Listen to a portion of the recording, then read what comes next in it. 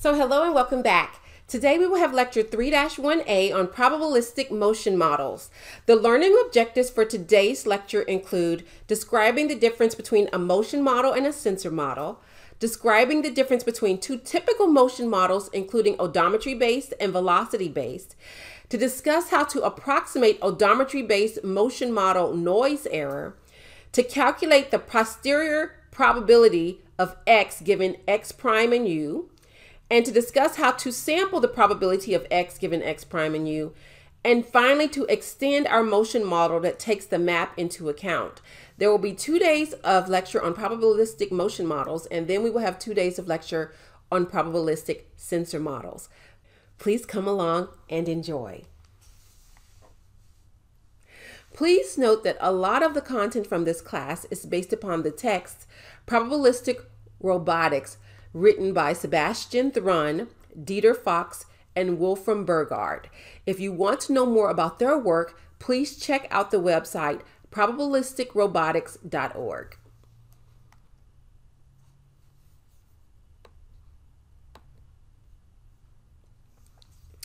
So, given Bayes filter and models for modeling motion and sensing, we use the following formula. The belief of xt times the normalization constant eta times the probability of a given measurement zt times the state xt times the summation of all the previous states, the probability of the current state xt given the input control ut, the previous state x of t minus 1, times the belief of x of t minus 1. This is the formula that we derived and discussed in the previous week's lecture. We call the term the probability of zt given xt our perception model. And we call the term the summation of the probability of xt given our control in the previous state our motion model.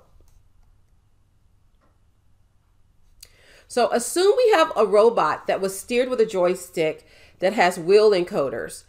And the robot's motion is inherently uncertain. We know this from odometry error.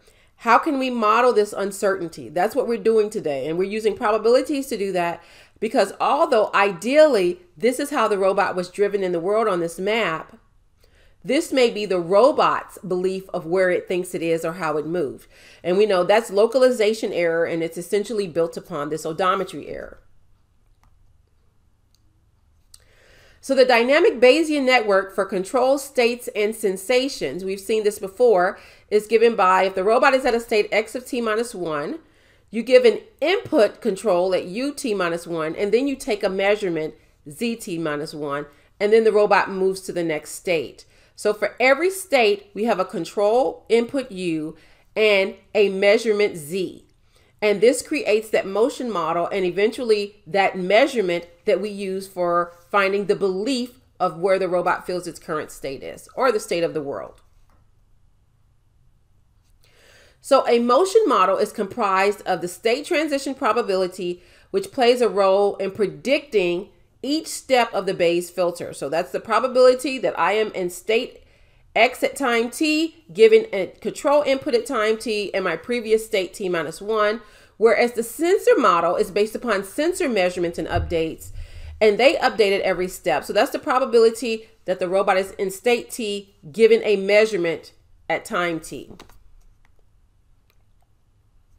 So recall that in kinematics, that is the calculus that describes the effect of a control action on the configuration of the robot. And so for our kinematic model, the x-axis goes directly out the front of the robot and the y-axis goes over the robot's left wheel.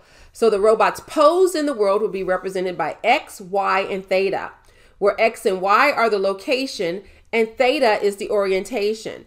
So in a Cartesian coordinate plane, we would have X, Y, and Z, and we're assuming our robot is not a hovercraft. It's a motion robot that moves on the floor, so there's no Z. And that the Euler angles are roll, pitch, and yaw. So for ours, it's just going to be a yaw angle, which is the orientation. And so the pose is the robot's relative position in a two-dimensional plane or coordinate along with the angular um, orientation as we've already described before as x, y, and theta.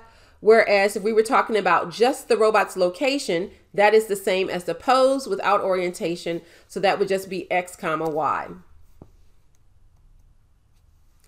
The pose and location of objects in the environment may constitute the kinematic state of XT of the robot environment system. So the state may not only include how the robot's moving through the world, but how the world is changing or being affected by the robot as it moves through the world.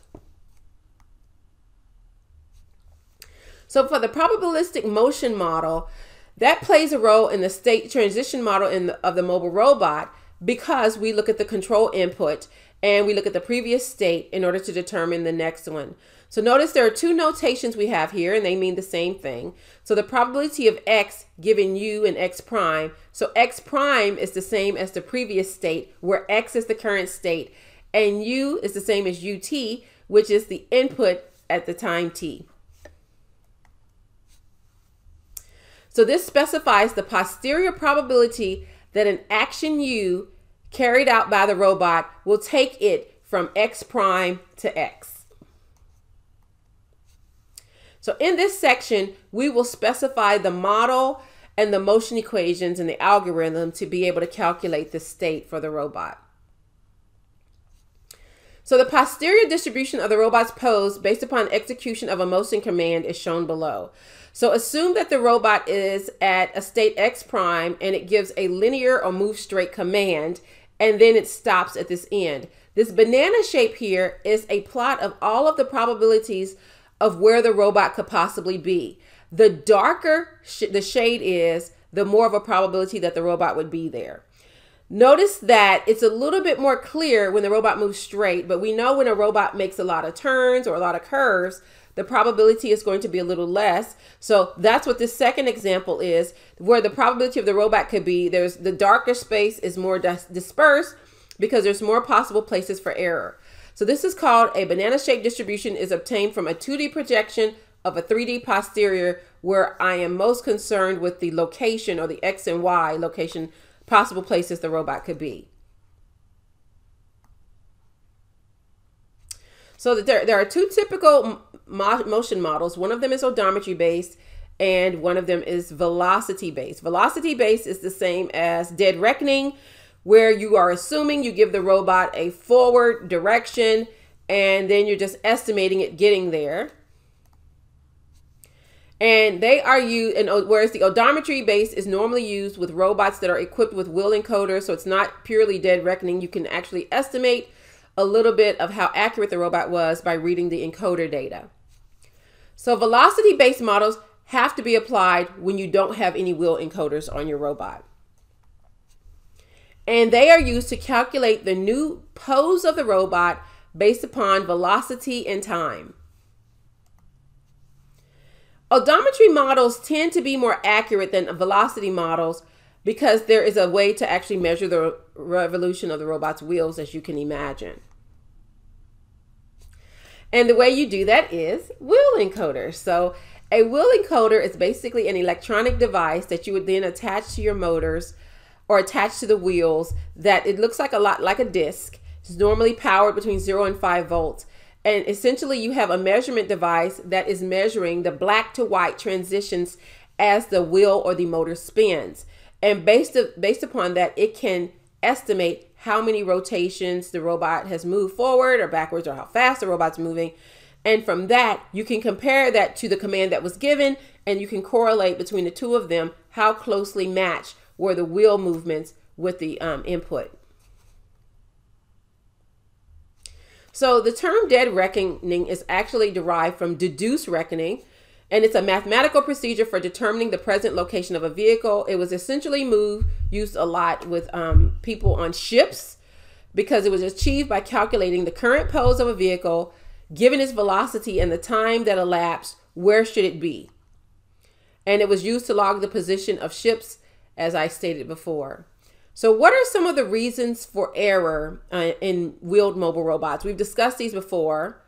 Um, the ideal case is the motors are ideally matched. The um, diameter of the wheels is exactly the same.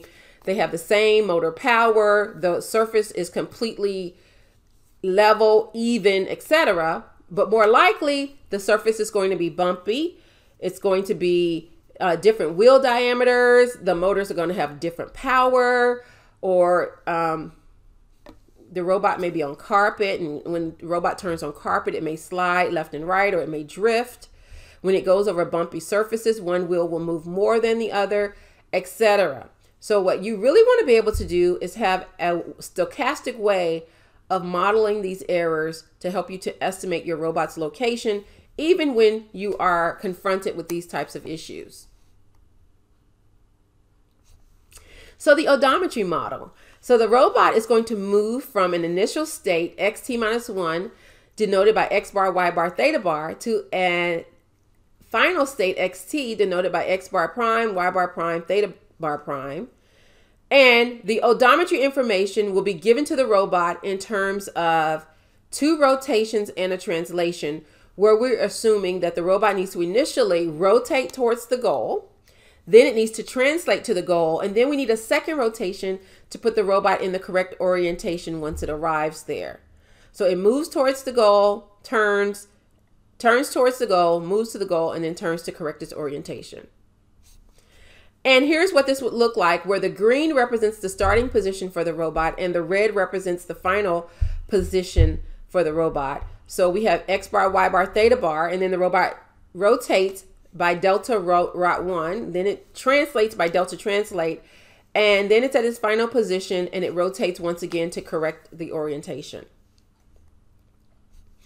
And the formulas that we use for these, um, the first one is the translation which is just the Euclidean distance. So it's the square root of x bar prime minus x bar squared plus y bar prime minus y bar squared. And it's the arctangent of y bar minus y, x bar minus x minus theta bar for the initial rotation. And for the final rotation, it would be the desired rotation minus the current rotation minus how much it rotated for delta rot 1. So, a couple more differences between the odometry versus the velocity velocity motion model. The odometry is based upon integrating wheel encoder information, as we've said before. Odometry motion model uses odometry measurements instead of controls like a velocity motion model. Even with errors, it's more accurate than the velocity motion model because although they both suffer from drift and wheel slippage as the robot moves through the world, the velocity motion model will also possibly have a mismatch between the motion controller and the mathematic, mathematical model as well. Odometry is only available after the robot moves because we use the wheel encoders to measure how far it's moved. So therefore, it is ideal or works better for filter algorithms like localization and mapping. However, it is unusable for accurate motion planning and control, and in those cases, you would want to use a velocity-based motion model. And this concludes our initial lecture on the probabilistic motion model. I hope you've enjoyed and have a great day.